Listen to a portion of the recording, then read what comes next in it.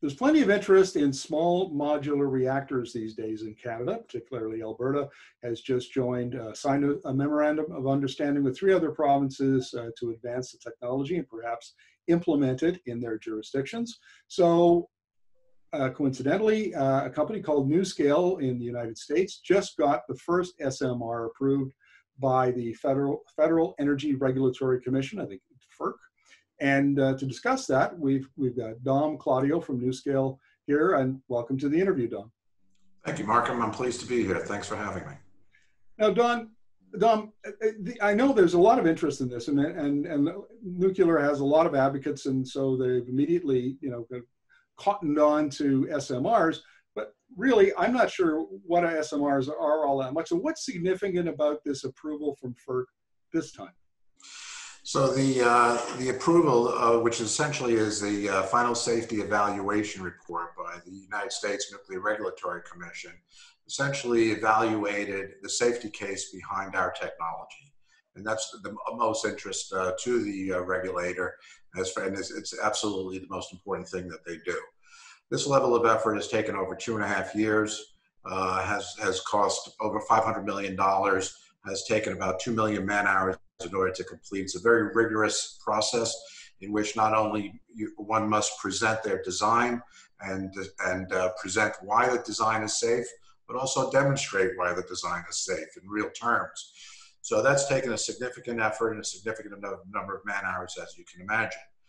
What makes small modular reactors, I'll speak to the NuScale small modular reactors because there, there, there are very, uh, uh, very many designs and each of them have uh, uh their own approach.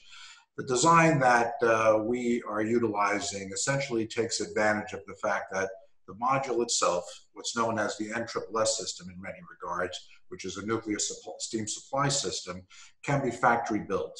And that provides a whole host of benefits from the standpoint that it can be controlled in an environment, a controlled environment, a quality environment.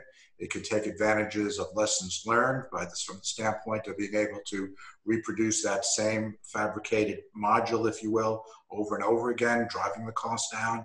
And maybe the most important thing when it comes to the overall cost, the levelized cost of electricity, LCOE, is that this module, while it's being built in the factory, uh, can it supports uh, in parallel the civil works that are going on. So you're building the civil structure in the field while you're building the nuclear supply system in the factory in parallel, and that typically will cut in half the typical duration of a project uh, from a typical gigawatt size plant that in which those two aspects are done in, in series. So it reduces the uh, length of time in which the project is ongoing and the financing costs involved, the risk that's involved because you're doing the most important part, the most sensitive parts in a factory in a controlled environment. And uh, again, you're able to conclude the project a lot more, a lot more quickly and, and again, benefiting from the factory aspects of it. So let's talk about cost. What are we looking at for an LCOE from one of your SMRs? So the first project that we're working on, which is the carbon-free power project led by UAMPS, we're targeting a, a, a LCOE cost of $65 US per megawatt hour. That, that's actually uh, fairly competitive. I mean, it's more than, than wind and solar right now, but of course this is baseload power we're talking about. And that, as I recall from Lazard, is below hydro new uh, large hydro, for instance. Yeah, and, and so the aspect of this design in particular is not only can it be used as baseload, but we believe in an all of the above solution when it comes to a clean energy solution. So the NuScale design has very uh, uh, capable load following capabilities that will allow it to complement wind and solar and hydro either on a fairly instantaneous basis or on a long-term basis because of the scalability of the design and again, its load following features. So that is also part of, of the UAMPS process and something that may be of interest up in Canada in the fact that it can be load following and also complement the clean energy system, which might have wind and solar attached to it. And let's talk about size for a moment, because I understand these are a fraction of the size of a, like as you say, a, a gigawatt uh, facility. So what, what, size are we talking about? And if you put it close to a, uh, you know, a community, a city, uh, how just how safe is it uh, from that point of view? So there's two aspects to the size. Uh, as far as the module itself, it's something that's transportable. So a, a, module that can support 60 megawatts of electricity is built in the factory and transported. So that gives you a sense of the size of each of the modules. The module will go into a building uh, submerged in water. That building can house as many as 12 modules. So from the standpoint of that, that gives you a sense of the size. As far as the uh, uh, protected area, as we would call it, 35 acres or 14 hectares is, is uh, nominal size. Uh, what we were able to do fairly recently with the help of uh, Tennessee Valley Authority was approach the nuclear regulator and discuss um, the implications or the benefits of the emergency planning zone being to the site boundary.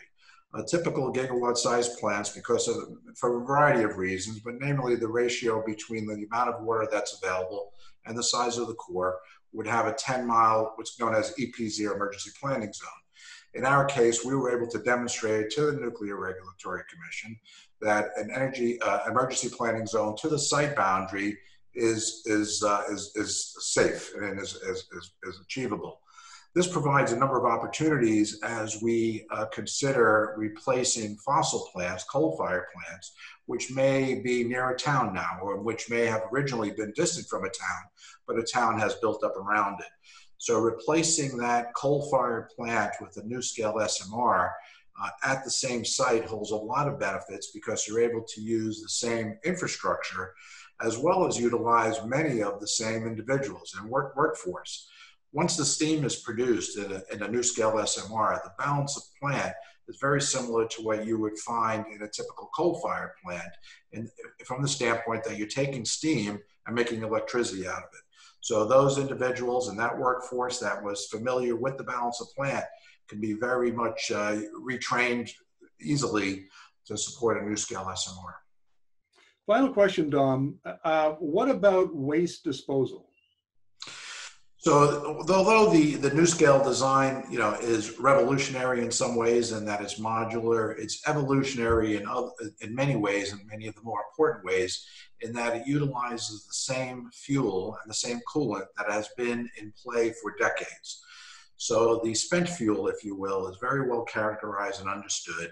Uh, the Department of Energy in the United States has identified techniques and, and methodologies to uh, support the spent fuel.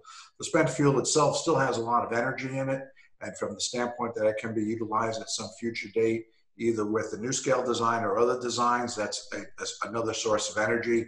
So we comply with the, uh, or the owner would comply with the requirements as specified by the Department of Energy and which has been in place for decades. Is there uh, a likelihood that in the uh, near term to medium term, NuScale and others will come up with designs that do, uh, you know, reprocess the the waste? Yes, uh, we you know we we certainly uh, are interested in continuing to mature the design and evolve the design, to utilize the spent fuel that would come from a NuScale SMR, and I'm uh, and I do believe there are other uh, technologies out there that are starting down the road of utilizing and developing uh, techniques and designs that would use that same product. Dom, thank you very much. This is a very, as I mentioned earlier, a very hot topic in Canada. I have no doubt that I'll be coming back to you again uh, to clarify some of these issues because th this really does uh, uh, require a little bit more of a technical understanding of the topic. I appreciate uh, your comments today. My pleasure, Mark. I'm happy to do this and would welcome uh, the opportunity to meet with you again.